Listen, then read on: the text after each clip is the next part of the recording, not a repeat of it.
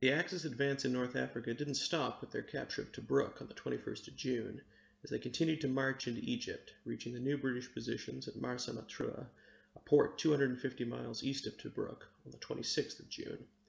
Early the next morning, the Germans' 90th Light Division, which had helped push the Guards out of Knightsbridge two weeks earlier, encountered the 9th Durham Light Infantry at point 174, 17 miles south of Marsa Matruh.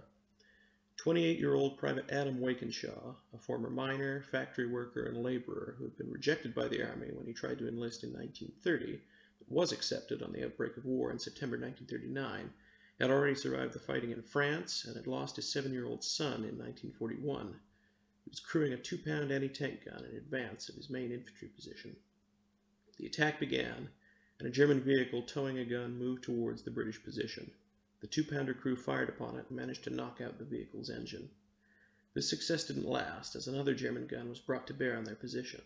Private Wakenshaw's left arm was blown off above the elbow, and the rest of the crew was killed or wounded. The Germans then moved forward to retrieve their disabled vehicle and gun. Private Wakenshaw and one other wounded crewman crawled back to their own gun.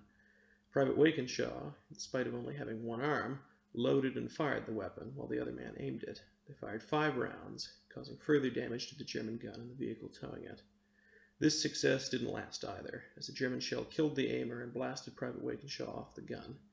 Although now alone, and wounded further, he crawled back to his gun and loaded it, but another German shell hit the remaining ammunition, destroying the gun and killing him. Although his actions, and the rest of that two-pounder crew, held up the Germans for a short time and allowed his company to withdraw, Point 174 was quickly overrun and the 9th Durham Light Infantry was left in ruins. The Germans continued to advance to Marsa Matruh, and the next day the British, Indians, and New Zealanders began their withdrawal. The port was captured by Italian and German troops on the 29th of June, along with 6,000 prisoners. The battle for Marsa Matruh had lasted only three days.